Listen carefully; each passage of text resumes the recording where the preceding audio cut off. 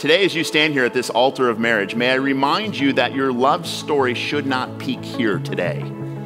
Your love story, it needs to continue. So continue to date. Continue to do the little things that endear you to one another.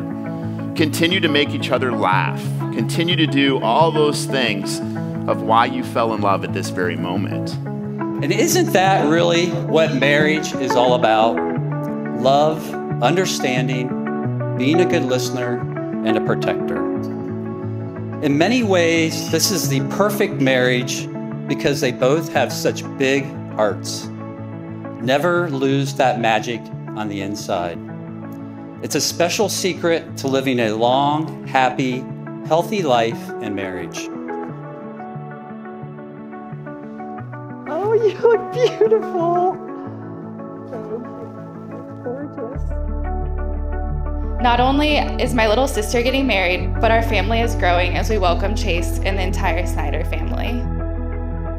I loved when you told me your story that you guys lived for 18 years, 20 minutes apart, and you never met. And it wasn't until you were a thousand miles away at Rollins College in Winter Park, Florida, where it was freshman move in day.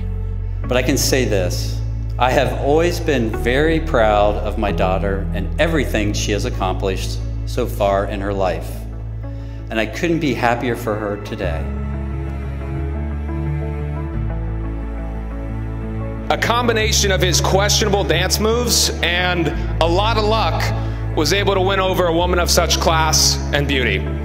And you've really brought incredible balance, love, and support for Chase. And I would suggest to you that in some respects, today is just one of many highlights to come.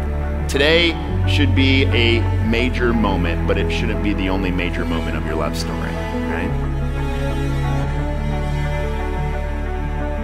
Watching you two grow together has been inspiring. You both have endured some of the most difficult life challenges you'll ever go through, and it's made you stronger in the long run.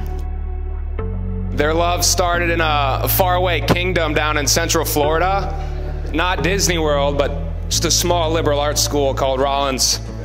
Uh, I brought many of us here together tonight. If you can commit to each other to gift each other from this day forward, every single day of your marriage, the gift of love, you'll succeed.